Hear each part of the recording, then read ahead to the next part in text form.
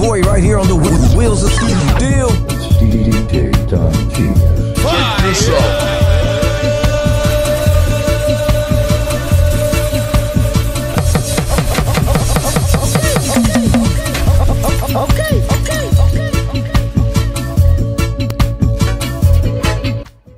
Hello and welcome aboard again wonderful community. In today's video, I'm going to be dissecting what I did, the transition technique I used in one of my last video for you guys to get to see.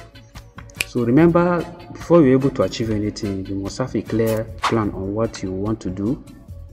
That means if you're going to be transitioning, it means you must have the concept in your brain, which I always talk about that DJing is about, it's a craft. That means you must craft the idea in your brain before you implement it. And before you're able to before you're able to implement it to get the type of result that you are seeing here it means you must have your setup well arranged. Everything must be in good condition.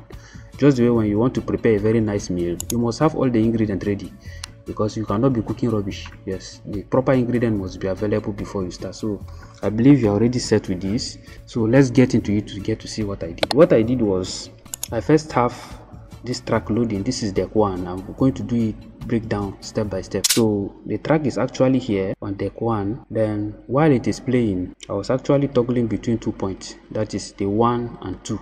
One and two. These points i've set them here. Look at the wave. Look at the first point here. One. If i come down you can see the second point. So let me run it for you to see. Look at it. One two. One two. So that was how i was toggling between one and two. Then i'm going to play it now. I'm going to do it there. You get to see.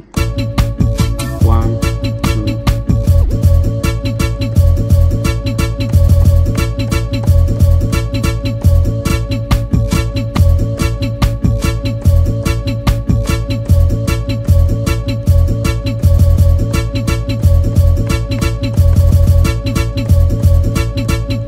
So i slow down the tempo in order to flow with this other deck that is this other deck because there's a particular sound that is common between these two deck. That means the second point look at it. Let me play it for you to see. Look at it. Then when i take this one here look at it that second first deck. So playing around with the two points makes it possible for me to bring up this other track on it. And how did i bring this other track from it into it I use this equal to this plus sign that has equal to under. So tapping on it while playing on this other one automatically turn on the second deck to roll it. So look at it again now. Let me run it for you to guys to see.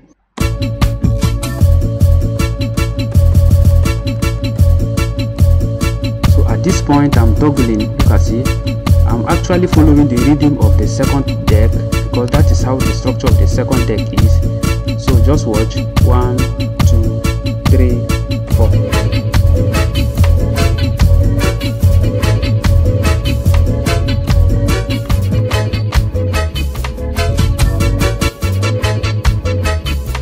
so at this point you can see how i've able to smoothly move from this very deck to this other deck. And this other one this deck 2 now is now rolling smoothly. So that is how we run it. So i believe you really learned something in this video very video. So the craft is very easy just how wide your brain can think and how you can introduce new concept to it. This mapping is so powerful that there are a lot of things that you can do with it beyond your imagination. As i continue to bring you more more concept will be coming over the period of time. So if you are just coming across the channel i believe i don't need to tell you you already know what to do except you want to lose up. So catch you in my next video as we continue to bring you more fire